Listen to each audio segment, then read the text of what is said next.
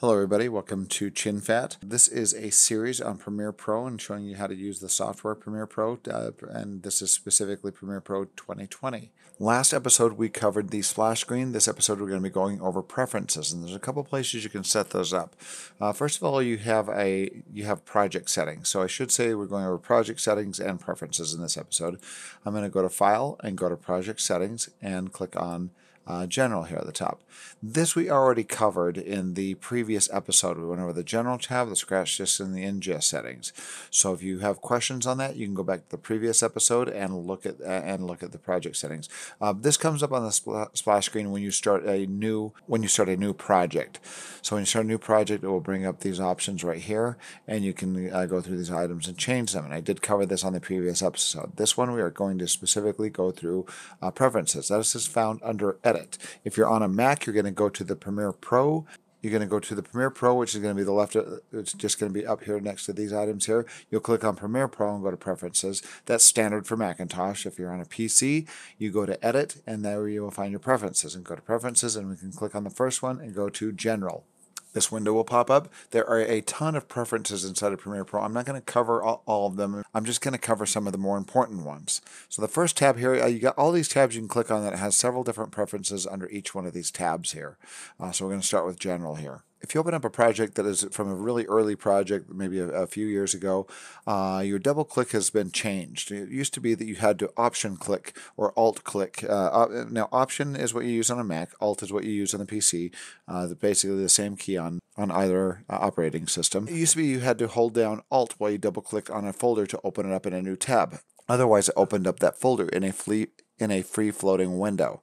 Um, so now they have finally changed this to where you, if you just double click it, opens up in a new tab, and that's nice. So I just leave it at that. I like that new preference. I've gotten used to it, and I leave it as such. But if you're used to the old way, you can go in here under General and change that. Moving on down to appearance here. This is kind of nice. If you're trying to change uh, the, the look of your uh, software here, you can go from trying to change some just visual settings of your uh, of your software here. You can grab the brightness. You can change this to a lighter all the way to a darker, depending on uh, what you're working on. Uh, sometimes if you're sending this across a projector or something like that or to a TV, you might need to change it lighter or darker depending on the on the monitor that you're using and what your preference is.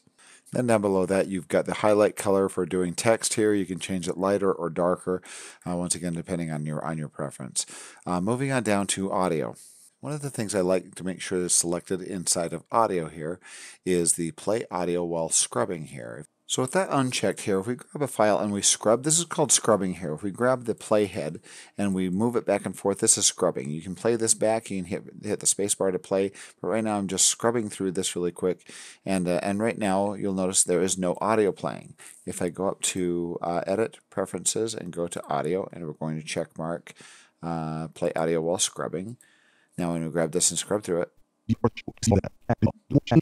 can hear the audio uh, kind of updating and, and playing back kind of, quickly. So if you want to hear that audio while you're grabbing your playhead and scrubbing through clips, you want to keep this uh, play audio while scrubbing uh, check marked. Audio hardware. If you have a device set up to your computer, if it's just aside from your regular speakers, if you have uh, some sort of interface like an audio interface hooked up to do surround sound, this is where you tell Premiere to choose that. You'll go under audio hardware because uh, Premiere Pro just doesn't automatically use the same thing as your head, head headphones or Bluetooth headphones or something else. It'll automatic, it will sometimes default to other speakers. Uh, you can click on those this default output here and you can change that the default output. And then if you're using the microphone as well, you can do your default input here under audio hardware. Auto save, very important because uh, occasionally Premiere Pro will crash, uh, and believe it or not. So under autosave, you're going to do uh, Premiere Pro will automatically save uh, copies of your project uh, every now and then, and it depends on what you have this set up as. Right here, you can tell how often to save. 15 minutes for me is a lot of work. I kind of don't like doing it. If you crash and you have to do redo 15 minutes of really hard work, uh, sometimes that can get really annoying. So I usually set this to about three minutes three minutes. So it will save a new project every three minutes. And I will also change my maximum version, uh, project versions to about 100. So it'll save up to 100 uh, project files uh, in your autosave folder. It doesn't take very much room, so it doesn't hurt to just pump that up and keep a bunch of different versions available. Now, where does it save those files at? That was in our project settings. We went through this the last uh, in the previous uh, episode. I'm gonna hit OK. We're gonna go to File, go to Project set Settings, and we're gonna go to Scratch Disks. Scratch Disk shows where it saves those project files. This is saving in uh, in the same folder as my project. I can go to that project folder and here it is. It has created an uh, it has created an Adobe Premiere Pro auto save folder. You open that up, and it's going to have a whole bunch of different project files. Right now, I haven't had this project open very long, so it, it will show your saved your auto save projects. Shows the time and the date that they've been saved, so you can go back in time and open those up. And uh, if you need to restore something that you've uh, accidentally deleted or or destroyed, so let's go back to preferences, and we're going to go to capture. I kind of brought this up in the last episode, but the capture portion is a little bit antiquated. If you got old tapes that you're capturing, this these are going to be some uh, capturing uh, options here. And uh, like I said, I'm not going to go over this because this is very outdated. Uh, most cameras you're shooting on now use solid state cards rather than tape, and this is specifically for uh, capturing from a tape. Now this I really haven't gotten into the collaboration with team projects. I have I, am going to be doing some team project stuff in the future, and I will have a, a, future episode coming coming up on the subject. So right now I'm skipping over collaboration. Uh, control surface. If you have a control surface like a tangent element board, they plug in to control the software. Uh, you can add those in here and make sure that you have your control surface added to the software. Device control. Once again, another ancient uh, antiquated item here. Uh, how to control your device that you're using to capture from your video capture device from a, from tape. Uh, graphics. Graphics is just controlling your text engine and tells you how to display your text. So let's skip down to uh, media here. These are some options with uh, graphics and labels here. We're going to be doing a separate episode on labels later on, uh, showing what, uh, what what colors you can use to change your clips to and your text to. Uh, we're going to be going over that in a future episode. So I'm going to go into media, the next tab here. Now, there's a couple things that I kind of like down here, especially this item right here, is create a, uh, create a folder for imported project, because you can have a project window open and you can import another project into this project. When you import those, I kind of like it to organize all those things automatically into a its own folder. So I'm going to check mark that. I like to have this check mark and say import folder, create folder for imported projects. The other item that you need to be aware of inside of media is this right here, is this default media scaling if you have different resolutions of footage, say you got some 1920 by 1080 footage and some 4K footage, uh, this is kind of important here. If you pull this down here, you have two different items, scale to frame size and set to frame size. Uh, as you import the footage, it's going to put a little check mark on these on your footage that you import from here on out. If I check mark this and say OK, uh, now any footage I, I import is going to check mark it as scale to frame size. And if you do it to set to frame size, it'll check mark it as set to frame size. What scale to frame size does is if you are working with different footage with different timelines, I will have another episode on, on this specifically, but as you import footage into your into a project, if you're using a different uh, timeline, say you're using 4K footage, you're putting it in a 1920 by 1080 timeline. If you drop it in and you have none checkmarked, the footage will be zoomed up, and the footage uh, will, will be zoomed up because the resolution is less in your timeline. So it will zoom up on the footage and only show 19, 1920 pixels by 10 1080 pixels rather than the 4 full K image. So it zooms up on it. If you do scale the frame size, it downscales it to fit your timeline or upscales upscales it if it's 1920 to 4K. Uh, will upscale it to fit your, your timeline. But if you have set frame size, what that does is it reinterprets the footage as if it was 4K or 1920 by 1080. What that does is if you have 4K footage and put in a 1920 by 1080 timeline, it actually decreases the quality of the file. If you zoom up on it, uh, you've lost the quality. It'll treat it like it's a 1920 by 1080 file. Uh, so the best thing to do is usually, I usually have checkmarked scale to frame size in this option under media here. Media cache. This is where it is saving your cache files. And what we mean by cache files is when it is uh, creating waveforms. These are waveforms down here. Uh, that waveform information is saved to a, uh, a media cache file that's saved in a database so it doesn't have to reload those every time you open up your project. So you can choose these different locations. If you're working on, uh, if you're grabbing, if you're taking your hard drive and moving from computer to computer, uh, it is probably best to hit browse and save these under your project file or under the hard drive that you're that you're working on.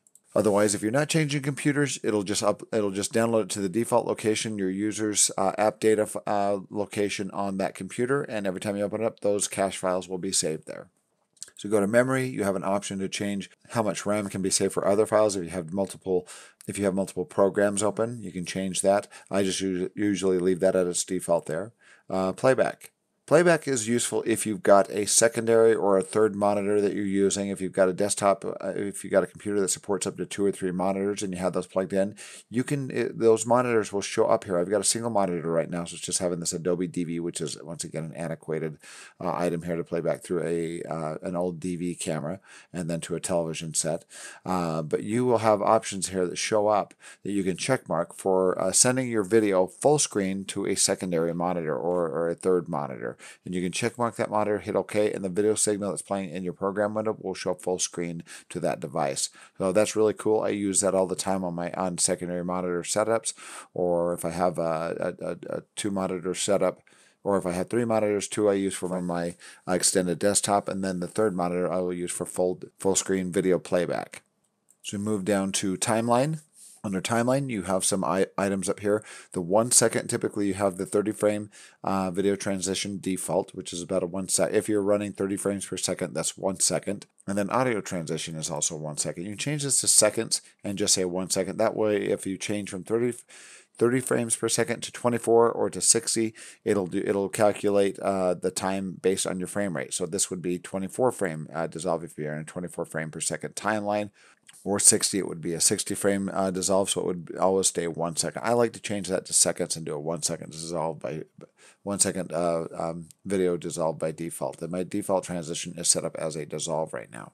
Under timeline playback auto scrolling, this is kind of cool as well. If you pull this down and you say no scroll, page scroll, smooth scroll, watch the difference between. I pretty much never have this on no scroll. Page scroll, what this does is we zoom up on a timeline here, and as we play, as the playhead gets to the end of the timeline, look what it does. It updates, it just pulls the next section over here, and it continues playing the next section of your timeline, then the next section, and the next section, and so on.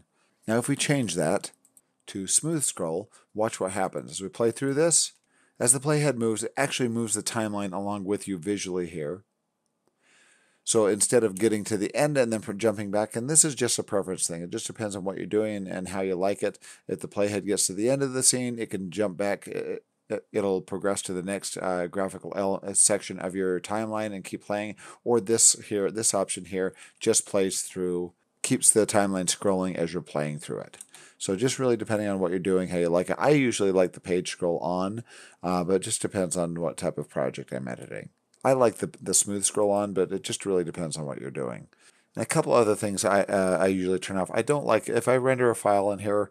Uh, I don't like it going back to. The, I, I, don't like it rendering after the previews has rendered. Uh, I usually uncheck that. And those are just kind of my preferences. I, I kind of like uh, altering those preferences when I first start working in Premiere Pro, and I just kind of leave it that, that way on within the software. So that's an explanation of some of the basics within your preferences there, some things you might want to change, and a quick overview of, of those items. That's it for this episode. If you want to watch all these, if you want to watch more tutorials on Premiere Pro, uh, subscribe to my channel. You can visit my Chin Fat channel, and you can go to uh, my my Premiere Pro 2020 playlist and uh, follow me as I get uh, new updates as they come out. I'll keep uh, going over the software, and we're going to go very detailed and in depth on on uh, using Premiere Pro. So thanks for watching. Bye bye.